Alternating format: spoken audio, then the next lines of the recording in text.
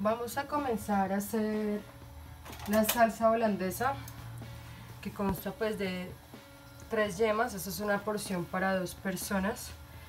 Entonces vamos a batir un poco las yemas. Estamos a baño María. Le vamos a poner poco a poco la mantequilla clarificada derretida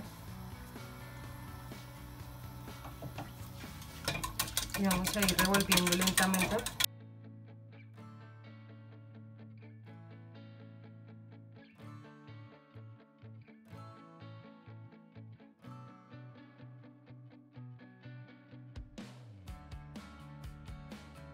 Le vamos a aplicar otra parte de la mantequilla.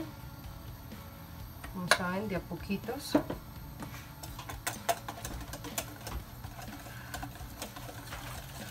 cuidado, el recipiente se puede poner caliente, pueden utilizar protección para las manos.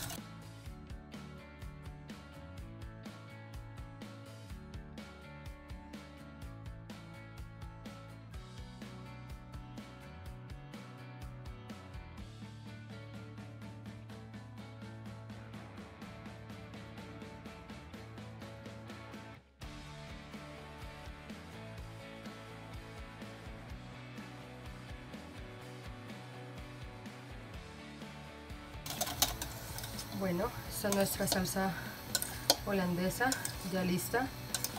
Una textura cremosa. Si se les espesa mucho le pueden echar unas goticas de agua, otras goticas de limón. Recuerden sacar, subir del agua caliente para que no se les cuaje la yema.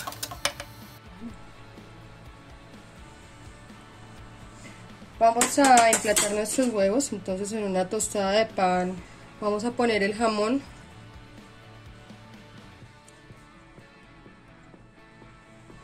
Luego procedemos a poner nuestros huevos pochados.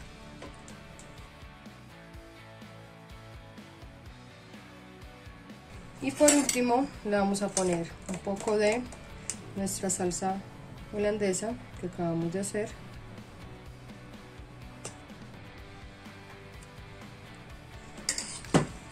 Y para finalizar, un poquito de paprika.